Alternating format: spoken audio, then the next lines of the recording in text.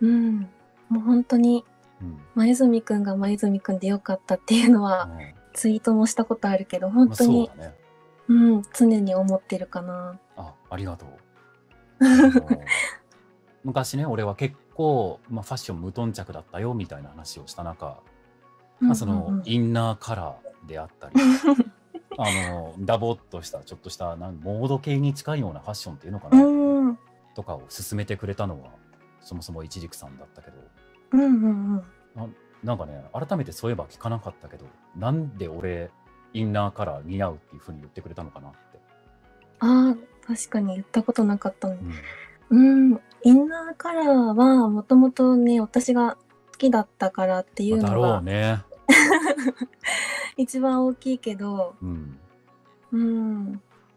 まあ一番はまずあの眉住くんのイメージカラーえっと、入れてみたらなんか元の髪色も活かせてインナーカラー生えていいんじゃないかなって思ったからかな。ああなるほど。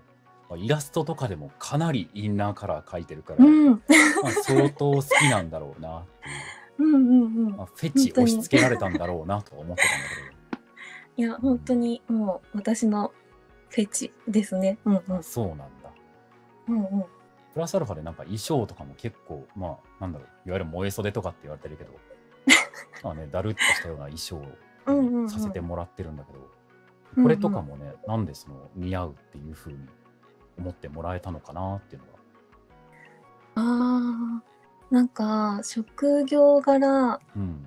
前住くんの職業柄うなんか、たくさん着込んじゃうよりうん。シンプルな格好の方がなんか疲れにくいかなって思ったのと、うんうん。うん、やっぱり着飾らないところが前住くんっぽいかなって思ったからかな。なるほど。うん、実際、そうだね、これぐらいの羽織であった方が、まあなんか温度調整しやすいしっていうのはめっちゃ思ったりとかする。うんうんうんうんいやーそうありがたい。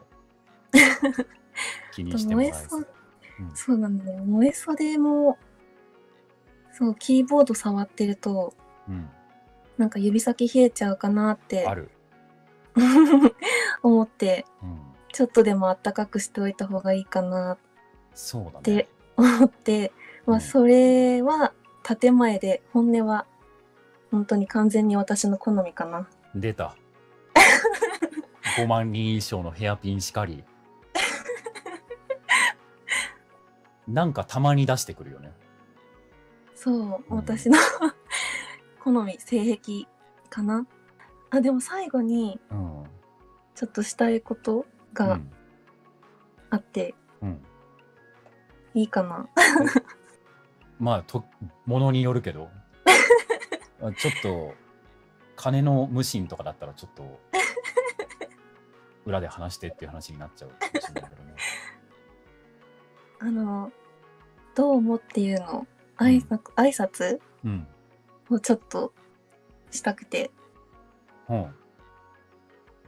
そう。一軸さんからってこと？そう。わ、わかった？えいい？え、いいよ。